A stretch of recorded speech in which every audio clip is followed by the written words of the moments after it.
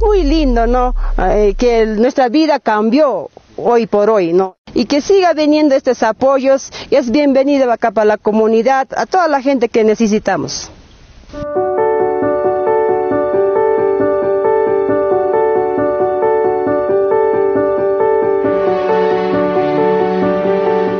Los hermanos Pachari Mamani producen y venden más de 300 kilos al mes de truchas ecológicas de Arapa, producto nutritivo gracias a la alimentación, cuidados y condiciones que han sido reconocidas a nivel regional.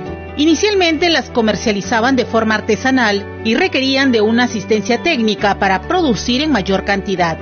Al ganar el concurso del proyecto Jacuguiñay de Foncodes, recibieron capacitaciones para la producción y conservación de este alimento. Además, obtuvieron mallas, cilindros y material para ampliar las jaulas flotantes. También lograron obtener todos los permisos requeridos, garantizando así la entrega de pescados frescos, saludables y de buen sabor.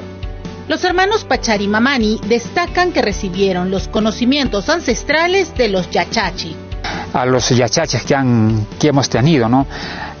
Nos ha mejorado la calidad de vida, nos ha mejorado la cocina. ¿Qué más? Tenemos un samanahuasi, tenemos nuestro invernadero, los biohuertos. La resiliencia y las ganas de salir adelante ha permitido que la vida de sus familias mejore notoriamente es por ello que viven agradecidos.